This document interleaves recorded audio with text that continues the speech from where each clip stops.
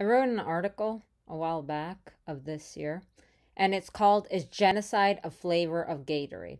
And other types of bureaucratic bullshit. Um, because I think that war needs to be discussed openly. I think that not only should it not be repeated, we need to learn from war.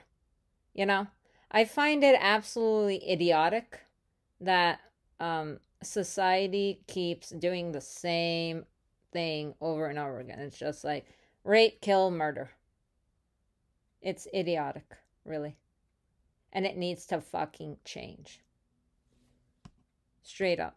And I'm speaking from my own experience of being a genocide survivor. Um, it's it's sickening, really. Uh, I was born in Sarajevo, Bosnia and Herzegovina. My native country was ruled by the Ottoman Empire and Austro Hungarian Empire. Bosnians have gone through terrible hardship because they have a complex and rich history. Sarajevo experienced horrifying shelling from April 5, 1992 to February 29, 1996. Imagine spending 1,425 days in terror. No food, no water, no electricity, none of it.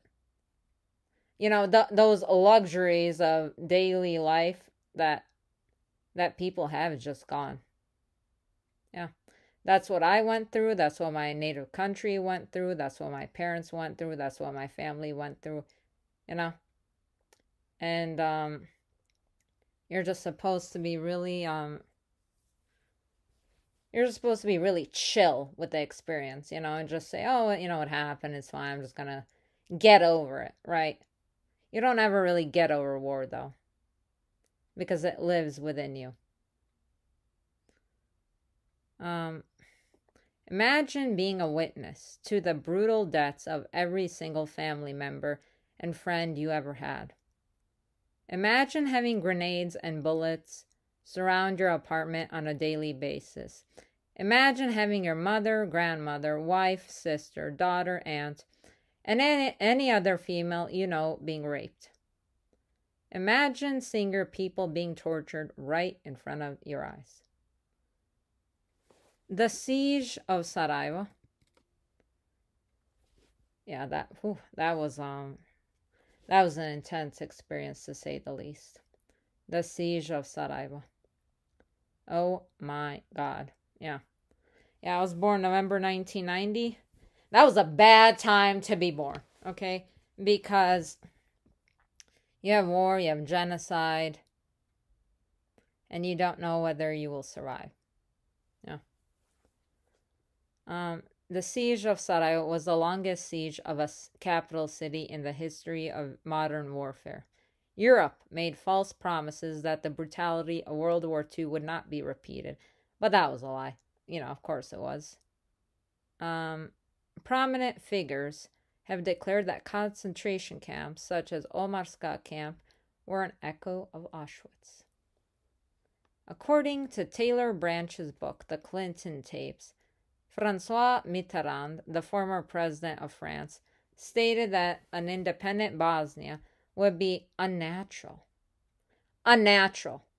Unnatural. Yeah. As the only Muslim nation in Europe. And he had been especially blunt in saying that Bosnia did not belong, and that British officials spoke of a painful but realistic restoration of Christian Europe. This disgusting, evil, and cruel stance was just one drop in an ocean of hatred against the country of Bosnia and Herzegovina. Bosniaks fought to have the arms embargo lifted, which allowed the heavily armed Serbian and Croatian forces to degrade and destroy innocent men, women, and children at every turn, as well as the entire infrastructure of Bosnia and Herzegovina. Mm-hmm. The rampant Islamophobia that Bosniaks endured was highly apparent. Unfortunately, Serbian and Croatian nationalism has not diminished, and Islamophobia is a social disease that Bosniaks continue to face not only in the Balkans but globally as well. I discuss my journey as a Bosnian refugee and immigrant with some of my classmates. Several people put their feet on the table in front of them. Some chewed their bubblegum loudly. They seemed bored and uninterested. These were all cruel attempts to display their apathy and cold hearted approach towards people like me who endured unnecessary suffering because of terrifying nationalism. Is genocide a flavor of Gatorade? was a question posed by one of my high school classmates. Allow me to repeat that. Is genocide a flavor of Gatorade?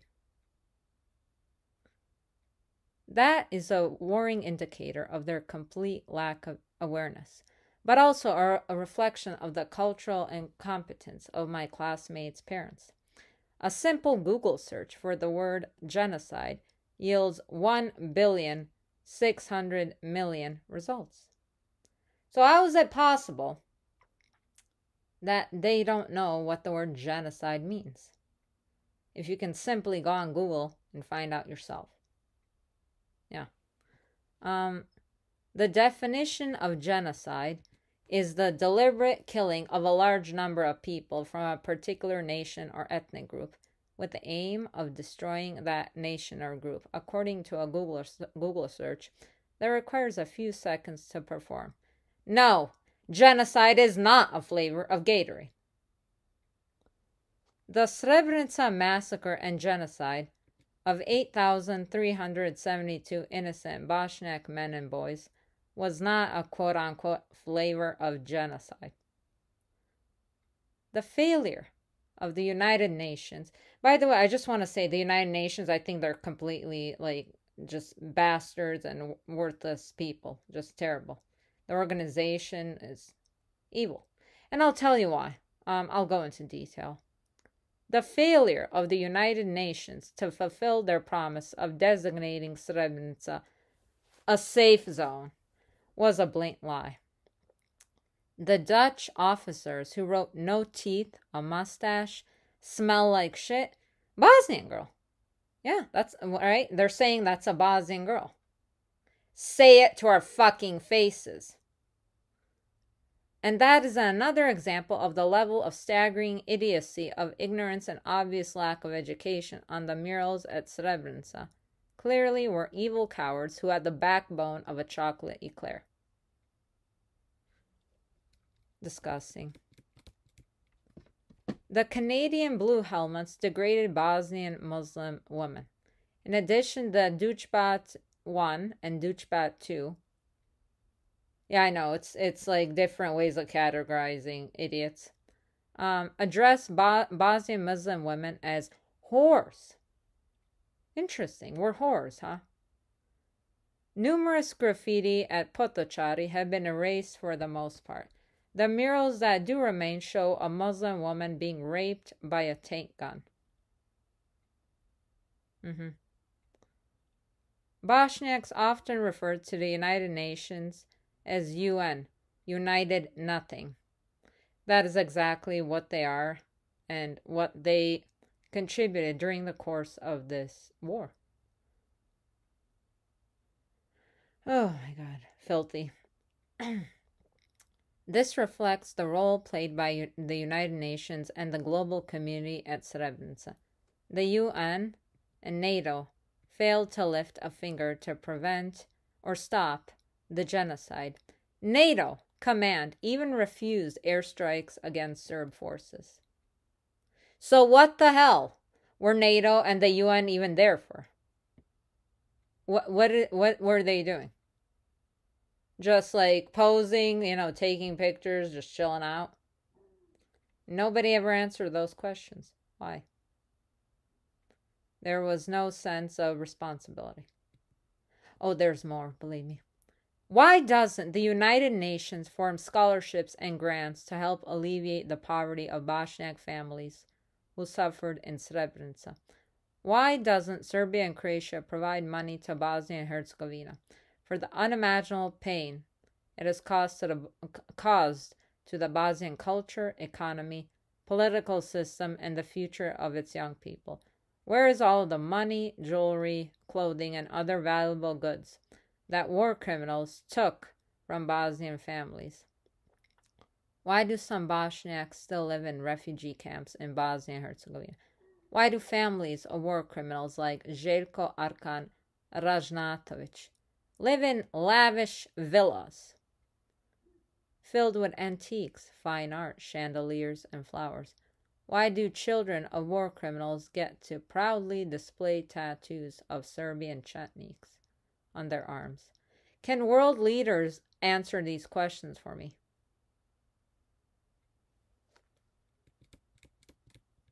At the 10th anniversary uh, Srebrenica Memorial at Potocari, Kofi Annan, the UN Secretary General at the time, paid tribute to the Bosniak victims of Srebrenica.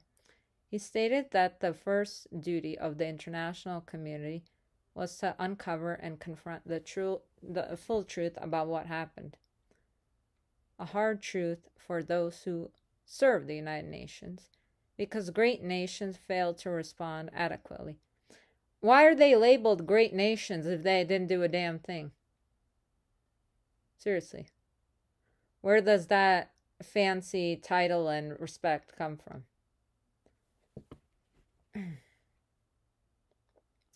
there should have been stronger military forces in place and a stronger will to use them. It's not a stronger will um it's they just didn't give a fuck. That that that's the main thing. They didn't give a fuck. And that needs to be said. Because it's the it's the truth this sort of attitude is not enough to preserve the memory of the fallen victims of Srebrenica.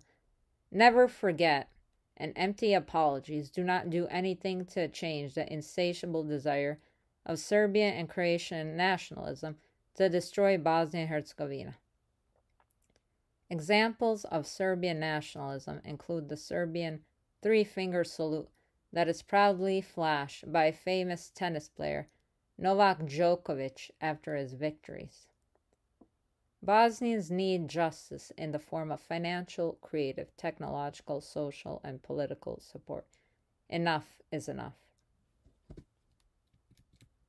Why did the world wait until a Bosniak woman pioneered in making wartime rape a war crime under international law?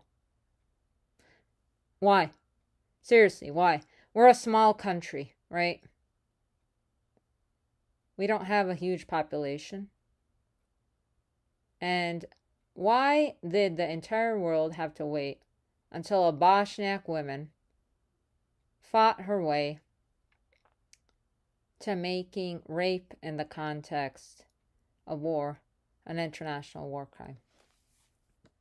Isn't that pathetic? Right? Isn't it pathetic? So we had to wait until the 1990s for that to happen. And it's something that just gets ignored and doesn't get talked about because um well it's like who cares, you know, rape, who cares, really? Um it's it's no big deal, rape, whatever, you just get over it. Um and rape, rape in the context of war. And that now it's a war crime. We had to wait until the 1990s, until the Bosnian War, to make that happen. Think about that for a second. Nusreta Sivac, a Bosnian activist for victims of rape and war crimes, was the lady who helped make rape in the context of war an international war crime. Sivac is an Omarska camp survivor where she was raped, beaten, and tortured along with other women. Why did the entire world wait until a Bosnian genocide rape survivor made a considerable, considerable impact on women's rights and global history. Why does a Google search for Nusreta Sivac yield only 8,320 results? 8,320 results. And she made such a huge um, shift in, you know, global policy in in terms of human rights, women's rights. So essentially, what this means is that it took a woman from Bosnia to demand a better future for women by saying that rape that happens during the course of war deserves to get tried as a war crime.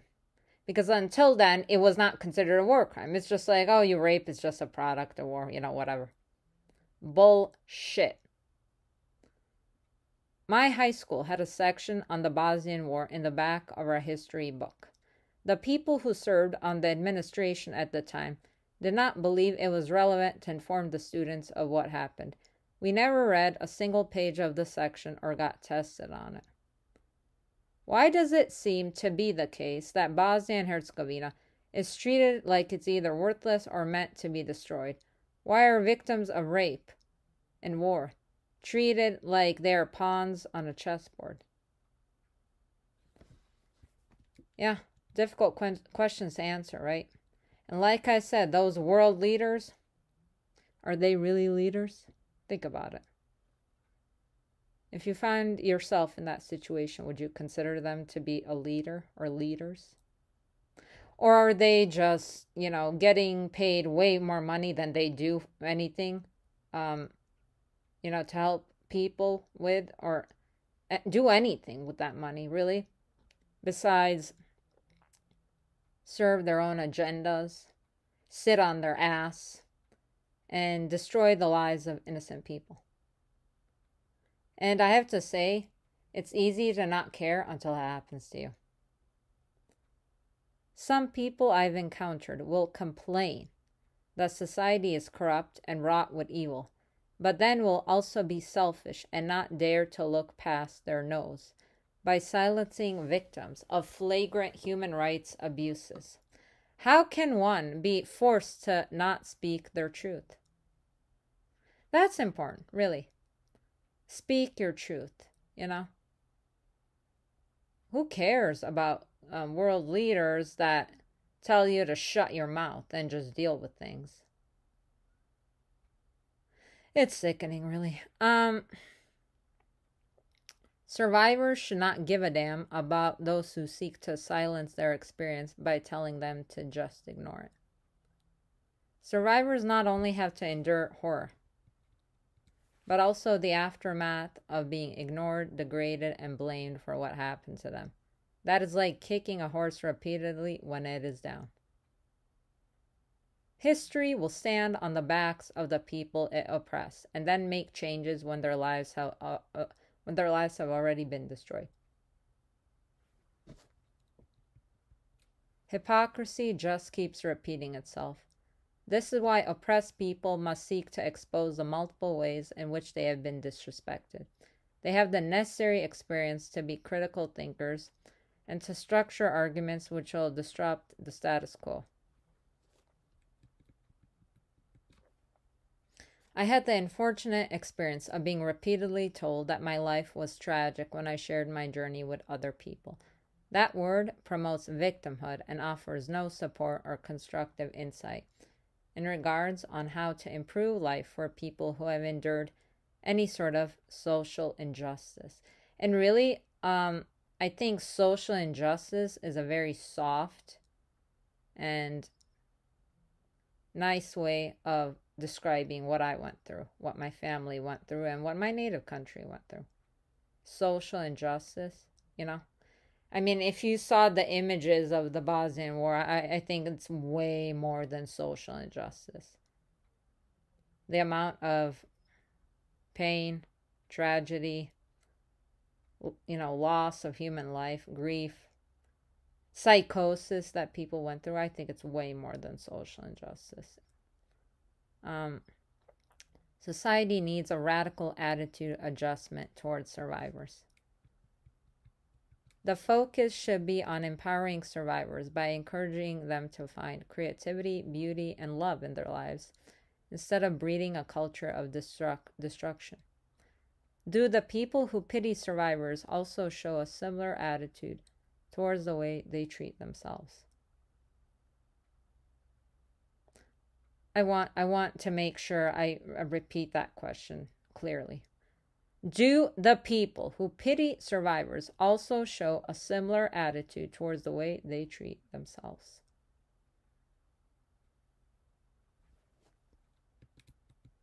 I can't help but see similarities between the Ukrainian war and the Bosnian war. Firstly, Russia has always maintained a pro Serb stance.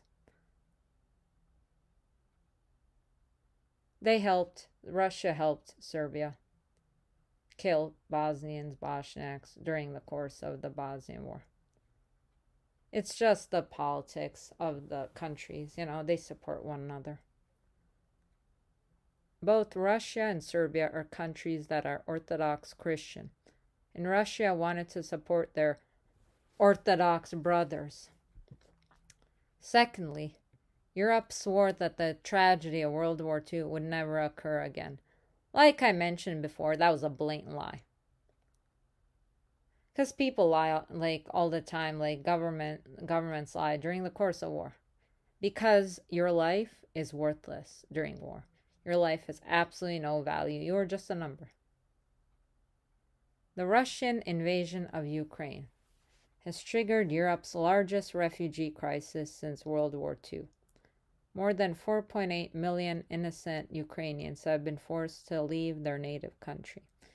At least a quarter of the Ukrainian population has been displaced. Ooh, yeah, that's that that's just that's rough. Um, the Bosnian War had concentration camps just like World War II did. And the Ukrainian War has triggered massive suffering that is forcing people to become refugees. Clearly, Europe has not learned enough from World War II if it allows mistakes like this to occur over and over again. Young people should be informed about key terms like genocide and femicide so that they are aware of multiple forms of discrimination and how to tackle human rights violations and issues. Questions such as Is genocide a flavor of Gatorade? Should never be asked. I mean, if you can do a Google search of genocide, then how in the hell can anybody ask whether genocide is a flavor of Gatorade? Seriously, that, that's just idiocy. It's just pure idiocy you know? And if you go to school, you can text, you can drive. I think you can do a Google search. I don't think it takes much effort. And that that just makes me um it makes me upset. It does. Until each generation has been properly educated, the likelihood of ignorance, violence, and apathy will undoubtedly be repeated. I wrote this article because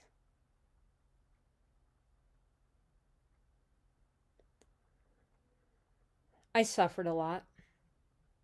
I suffered like so much throughout my life as um as a, you know a war survivor as a victim of discrimination my parents suffered. Um, my family suffered in Bosnia. My family was scattered throughout the world, you know.